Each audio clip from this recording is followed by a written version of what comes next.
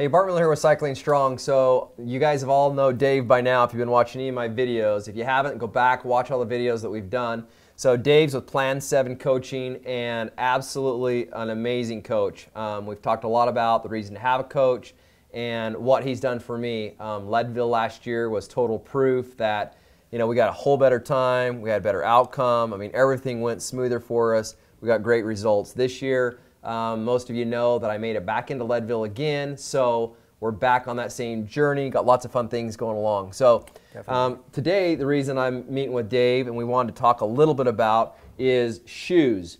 So we got some new Sidi shoes. This is their 2015 shoe this year, and I'm really, really excited to ride this shoe this year. Um, I was talking to Dave, I think it was last year, a little bit about shoe fit. I've got a really narrow foot, a few things. He recommended yep. this shoe, a couple of others, but um, so we decided to, that would go with this. So, long story short, is I've been in um, this S Works shoe and um, been riding it. You can tell this is a little bit beat up. Dave did the fit with this shoe, and my big question for him is okay, now ready to switch shoes, what do we do and how do we go about that and how do we get started? Sure. Because when I normally did it, I just kind of centered the cleat and I was done when I first came to visit you. And Dave went through and did a lot of really cool stuff inside the shoe, outside the shoe, which he'll get into. But it was a little bit of a process. So I was just interested of yeah, of how to, how to transition from that. Now, obviously as you can look at these two shoes, you can see this is a narrower last. I mean, it, it's just I mean, it's pretty obvious to me. Yeah, the way, you know, each manufacturer, they have their preference on what they're trying to accomplish with shoes, right. what they feel like their customer is going to look for. And, you know, the specialized shoe has been heavily influenced by their body geometry line. Uh-huh. So they have their fitting process right. and their fitting philosophy. And so a lot of that comes into, built into the shoe. Right. Um, where they have uh, they have forefoot varus accounted for built into the shoe, so that's something that you're not going to find in a Sidi shoe. Uh, and, and so we're going to have to kind of look at your foot again right. and think about why we did things on this shoe and figure out what we need to do on this shoe. And, and you can't really just go, oh, yeah, yeah the cleats look about the same. Yeah. Because we, we have fixed drillings and we've already got the cleats put onto the shoe. Right. But there are there there are three there are three hole drill mm-hmm. and they don't move. Right. And so depending on where Sidi decides to put their three holes versus where Specialized put their three holes on the shoe, fore and right. aft, right. and, and as well as laterally, right. can have a big influence on on like jumping on the bike with this shoe and then jumping on the bike with this shoe. And so what we need to do is, is take some landmarks on your old shoe. Right. So we're going to find the center point and all, all cleats have the center point of the cleat marked. Right. And so we, we can take a, a landmark reference point. So we'll, we'll make a little tick mark here on the shoe. Mm -hmm. You'll put it on. I'm going to find where the ball of the foot is in relationship to the center of the cleat. Mm. Then we can come over to, the, to, this shoe, put a tick mark on this shoe, and then find where the ball of the foot is, and then start manipulating. I like that. And it's possible that we could end up with a similar cleat position. Right. Yeah. Now, if you told me that like you were having some issues with right. this shoe, then we're going to Look do a little bit more fine tuning. Right. But we're going to have to anyway, because as I mentioned on the specialized shoe, and if you've ever seen the specialized shoe on the sole, they've built in forefoot varus mm-hmm. to help support the natural varus that we have when our feet are relaxed. Right. But yet, when we want to when we want to apply power and push down on the pedal, there's a gap there. Right. And so we've got to account for that somehow. And with the Sidi shoe, they don't build that into the shoe. So we're really going to have to figure out what level of forefoot support you need in this new shoe. Cool. So the one, the another big difference that we've got between these two setups mm-hmm. is on Bart's S-Work shoes. He has the gray look cleat, mm-hmm. which uh, gives you four and a half degrees of float. Mm-hmm. Uh, we didn't talk about this, and Bart grabbed some new cleats, and he grabbed the red cleat, which is nine degrees of float. Um, that may or may not even be noticeable to you. Uh, someone whose foot moves around a lot, mm-hmm. maybe the four and a half degree cleat helps stop them mm-hmm. at the edge of the at the edge of the spring tension in the pedal. Right. Where that person on a red cleat, they may feel like they're kind of skating around more. Right. But if we set up your lateral cleat position correctly, yeah. More than likely you're not going to get a lot of movement. And if we're supporting the forefoot correctly. Right. So that'll be something that we can look at as we as we figure out placement of the cleat, and then we get you on the bike and see if knee alignment's correct. Uh, but that is a big consideration. Uh, you want to know what kind of float your position requires. Some people not uh, if it matches the shoe, but it would. Yeah, not necessarily matching. Yeah. I well, mean, I mean, it, it, looks pretty cool. it looks good. Yeah, that's what I thought. You know, it kind of matched up cool. but um, that that's a big consideration because yeah. different pedal systems have different types of float. Right. Some of them have built in where there's a little bit of friction provided so that it's not like a skating rink feel. Right. Um, with Speedplay uh, pedals, for example, with the Zero series, you have adjustable float. And so if you have it wide open, it's 15 degrees of float. Mm. And you can narrow it, heel in, heel out, or both together. Uh, and some people need minimal float, right. just because, you know, knee stability. Uh, some people need a lot, some people need hardly any. Gotcha. So it's very, very dependent on the individual. Uh, so what we're going to do now is have you throw on the specialized shoes okay. so that we can find our landmark.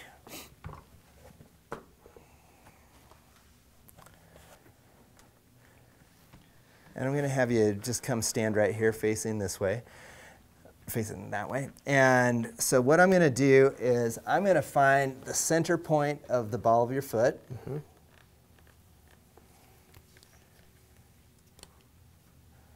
And step this foot out just a little bit. Mm -hmm.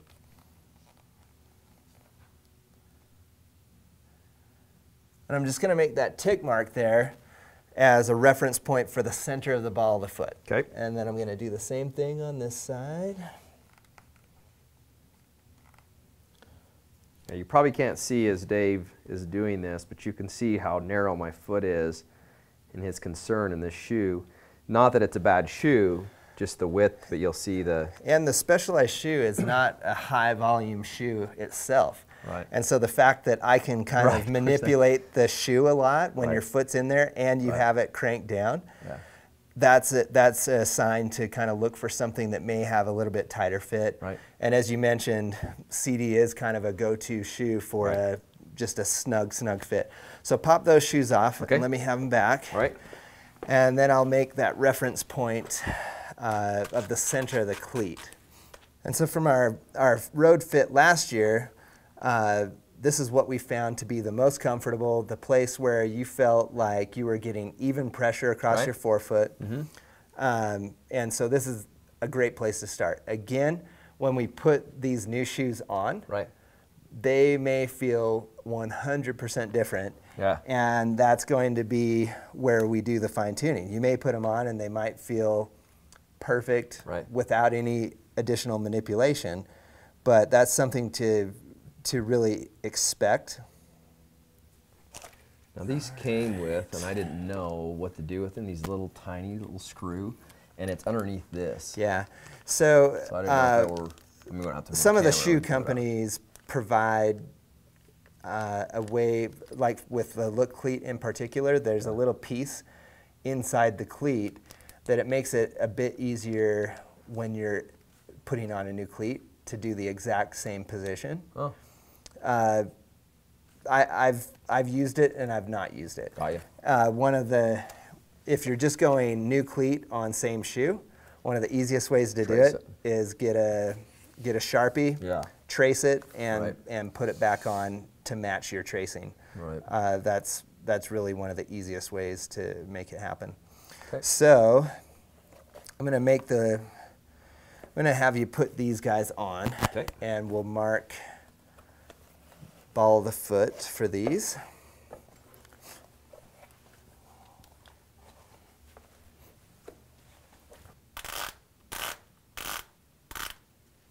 And so you've got some different different features on the Sidi shoes. Uh, you've got the cuff that comes over the top of the foot, Yeah, here. and you notice. Um, why don't you come right here and I can point this out. Okay. Uh, this is a, a cool feature of Sidi shoes. Um, the, this cuff that comes over the top really puts a lot of good support on the foot, locks it into the shoe. Um, and if you notice, you kind of ended up uh, bottoming out how much you could tighten it. Well, there's the, this cool little buckle system that when it doesn't have tension, we can push this in to center this cuff on the foot. And that Awesome. way, it won't be putting funky pressure right here. And under a hard effort, you might feel this part of the, of the strap coming over. Right. But when we center it, then you've got this broad distribution of pressure pushing down on the top of the foot. So we'll, we'll mess around with that. But right now, and so now, like just overall, it feels like we've got a little bit snug, more snug of a fit. For sure. So we're gonna find that ball of the foot again.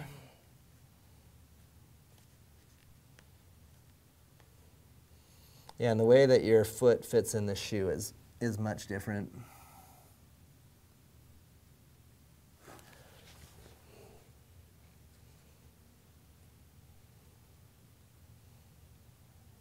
Feels like about the center, right? Mm-hmm. Yep.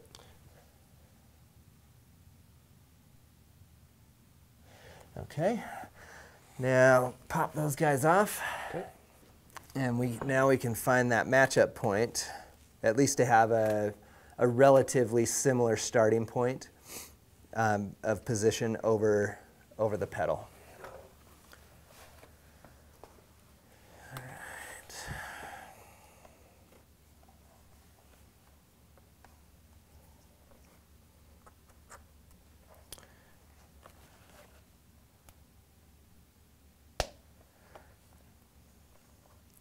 So one of the other things I'm going to just start out with is we optimized the lateral stance, mm-hmm.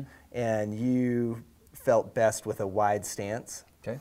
And so I'm going to set set the new cleat up fore and aft mm-hmm. with our with our process of matching up ball of the foot, and then I'm also going to set you up wide, and then we'll look at you on the bike and see how your knee alignment looks, and then we can fine tune from there. Awesome. So while he was doing that, I actually just played around with the cleat a little bit, brought this down a couple, like Dave said. So, I mean, it might not be exactly where we wanted at this point, but I just thought, you know, I might as well play around with it while he's addressing that and, you know, And it's a it's an easy it's an easy process as Yeah. long as there's not tension on it. Yeah, it it will awesome. move around smoothly for Very you. Very nice, yeah. I agree. Now you'll notice on this shoe how they've got the vent right here all the time. Uh, Sidi has the ability that you can move this little screw right here and it'll give you a vent or it'll keep you warmer. So this time of year for me, I've got this closed because still real early in the season and here it's still a little chilly outside. It's surprisingly nice today, but uh, waiting for more snow. I'm I sure that right. it will. We'll have two feet of snow on the ground in April. Yeah, I think you're right. we'll all be on the trainers in April going, what the heck just happened? Yeah, we did a four-hour mountain bike ride on Saturday on completely dry trails, No way. foothills, but Yeah. not even avoiding puddles. Wow. Well, there you go. So what I've done is I've matched up from the landmarks to, to make it match up to the position on the specialized shoe. I also set him up with a wide stance. Uh, that's what we'll start with because that's what we had there. And then we'll see how much different the shoe is once you get on the bike. And I know a lot of people, they tell me when they get new cleats, they just center them Right. uh, laterally and fore and aft. And you may get lucky Right. and and have that work out for you. Um, but it's it's much better to really optimize Right. your setup. I have to tell you, I'm pretty excited about this shoe. It is a good looking shoe. Super light. I don't know a lot about the heel cup on it yet. I know it's got adjustability in it, but I love the way it fits right on the back of your heel. It really feels great. Yeah, it has a deep pocket to it. Yeah, it does. And it provides a lot of stability when you're really working with heavy force. Yeah. Uh, and then the retention system, you can you can have it pull into the top of your heel Uh-huh. a little bit more. So there's these little tiny screws Right. where you can add or subtract Awesome. uh, the amount of pull that it gives. So it's a it's it's one of the best shoes out there. Um, Sidi for years has done phenomenal phenomenal Actually, shoes. my very first shoe I ever started cycling in was a Sidi. So wore those suckers out actually. All right, so Bart mentioned that we did a lot of stuff inside the shoe uh, to help support forefoot varus, to help support what your arch needs. Uh, we're going to start out by Start out. Okay. just starting. So put them out. on right now. Yep, throw them on, and we're going to get you on the bike and start pedaling. So I'm just going to have you pedal for a minute, and since you did ride already today, you may have it fresh in your mind how your feet felt in your old shoes. Right. And so you can kind of think, oh wow, this immediately this feels crazy different, or wow, that's not all that different. So I'll like I'll want you to pedal here for a minute and just kind of consider how different it feels. The float feels way different. So you can feel the- My left foot I can, my right I can't. And so that's a sign for me that I'm going to need to look at at uh, the lateral alignment of the cleat. Aggressive on tightening that one up.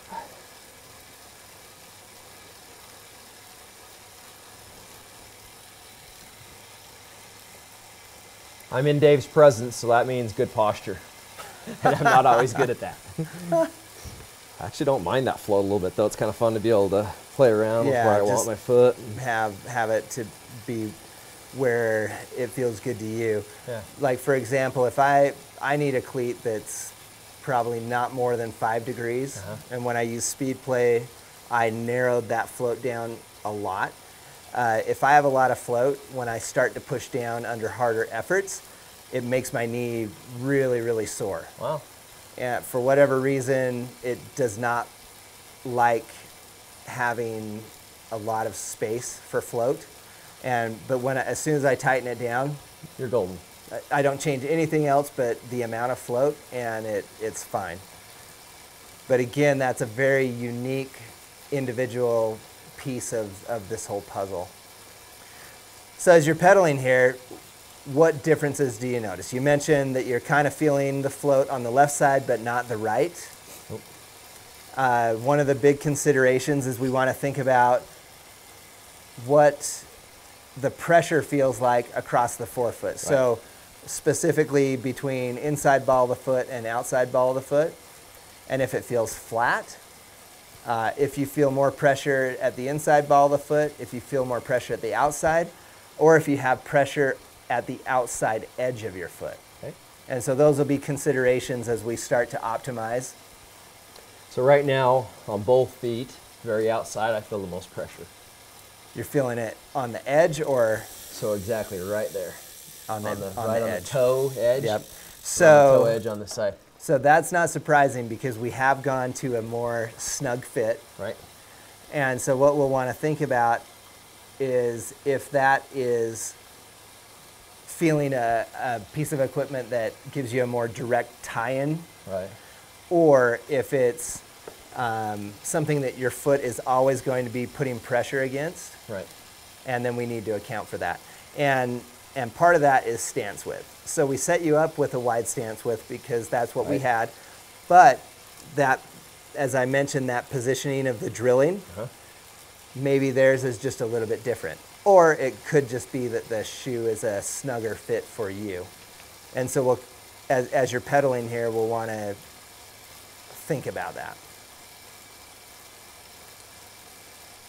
And, and what do you think about the pressure across the forefoot?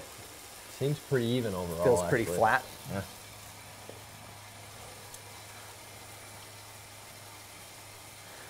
So again, another thing that we're gonna look at closely since we've changed a, a key piece of equipment is we're gonna wanna take a look at knee alignment and making sure that the knee is running as straight up and down as possible because we don't want any uh, lateral movement at the knee.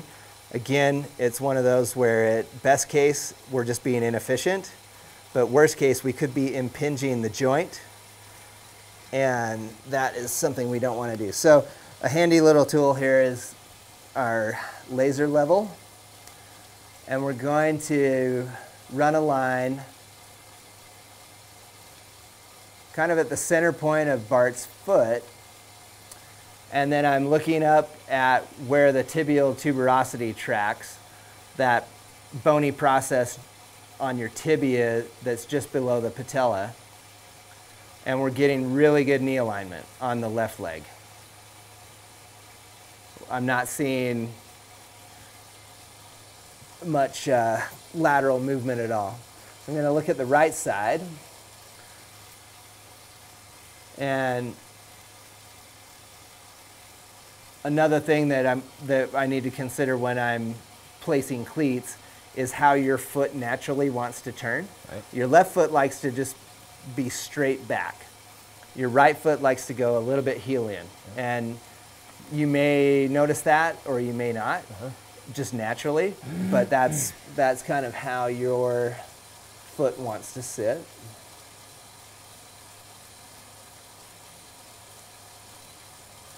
But it's not necessarily affecting your knee alignment. Uh, again, we've got really good tracking at the knee. So what are you noticing with that outside edge of the foot? I'm pretty much going away. I mean, I don't even feel it. You know, yeah. if I don't think about it, I don't so, feel so it. that's going to be kind of a, a little thing that we want to always have on our mind for the first little while. Uh, the shoe is really filled in the uh, arch. It's got a little more arch to it than the older shoe does or the insert or whatever. Okay. But it doesn't feel like it's a bad thing. Yep. It just feels, I mean, I want my foot, so when your foot's placed in it right, it feels just right in the right spot. But if you got your foot off, I could tell you, you would really feel that. Yeah. Yeah, and, and if, and if we had you in a more narrow stance, right. you would probably, since you identified that as one of the first things. Uh-huh. If we had you at a narrow stance, if you went out for a two hour ride, you'd start to feel a ton of pressure here, almost to the point of, wow, I need to either get the shoes off or loosen the tension. Right. And, and so we, it's a key factor to optimize that lateral position because the way the equipment works best is when it is snug on your foot. Right. So we don't want to compromise uh, our power production. Right to be comfortable. We want to figure out the right spot for all this stuff so that when you get out on the road and need to put power down, it, you're not compromising because of a, a, a setup issue. So lots of float, and this is going to be interesting to get used to too. Yeah, and and like I mentioned before, it may be something that after a few days of riding, say screw it, you don't even notice. Right? Yeah. Uh, or it may start to drive you crazy. Right. And you know, it, it could cause some alignment issues just because your foot can move out. Right. Uh, but watching you pedal, your feet are staying in the same alignment left and right through the pedal stroke. And so it's probably something that I, I don't anticipate it to be a problem. Right. Just based on how I'm seeing your feet push through the pedal stroke. The one thing I do want to look at is just to make sure we've got, we haven't impacted the leg extension highly.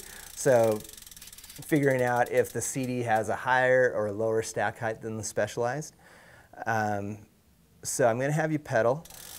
And when I have you stop, it'll be down on my side. And I want you to try and just stop your foot where it would be naturally through the pedal stroke. I'll support it, but mm-hmm. don't let your knee drop back or your heel drop. We're trying to like see an exact snapshot here. So go ahead and stop down. Perfect. I'm just gonna place it straight down. And then we're going to measure off of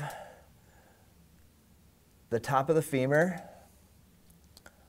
center of the knee, and focus down to the outside bump of the ankle. And we're essentially right where I expected you to be.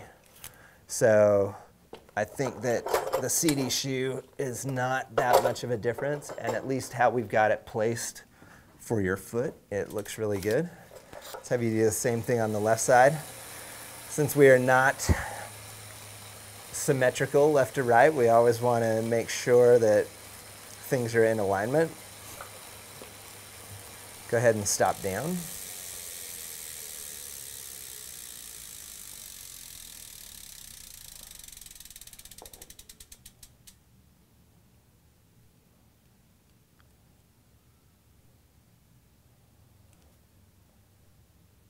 And we're looking pretty even. So, uh, you know, spending 10 or 15 minutes pedaling, we can get a good idea of what might be way off. Right. Uh, but it may take multiple days and a lot of hours Right. before you really identify some of the big issues. Right. Sure. And so that'll be something where, you know, we already know that you notice this right away. Right. So that'll be a question for me when we follow up, Right. like, hey, outside edge of the foot, what's it doing? Right. And then I'm going to want to know, again, what the pressure across the forefoot feels like, uh, the entire length of the foot engagement, because there's a lot of things that, that we can help support to have you feel that proprioceptive Right. locked onto the pedal. So just so most of you know out there, um, my son Kobe also got a fit done last year with Dave. And being young, he, uh, he didn't know how to answer all the questions that Dave was asking. So Dave was really smart in the fact that he took the shoe, he took pictures of the shoe before Kobe ever left with the measurements. And then when Kobe would call him, he didn't have to be right here. Kobe could adjust, retake pictures, and then Dave could do that. So I think that's one thing that if you're going to set up a shoe, it never hurts to document what you're doing so that you've kind of got a, a, go back to or I don't know some things to look at especially if you call an expert like Dave that he could say okay send me your photos. Let me look at a few things and he may have some ideas of what he can do to help. So I just bring that up because we kind of went through this process Yeah. a little bit with Kobe you know and there was several times he'd call and say well what about this? And then Dave would say okay I sent you home with this. Try this really quick. And uh, so he already uh, he kind of knew one of the, some of the problems that we might run into and was able to address those and then uh, got Kobe to where his feet were just absolutely dialed in and ready to go. So I just throw that out there because we kind of went through it the one time, really smart on Dave's end, take some pictures. On your end, once again, wouldn't hurt to do the same thing. Uh, take some pictures of your old shoes. So that way, if you do get rid of the old shoes or you lose them, at least you've got that documentation to, to transition with. Yeah, it makes it a lot easier when, when we need to either say you take your bike into the shop Right. and you know most of the time they're going to be careful and make sure your seat post if they do move it that Right. they've marked it Exactly. but the off chance that that it that it doesn't come back to you the same as it was Right.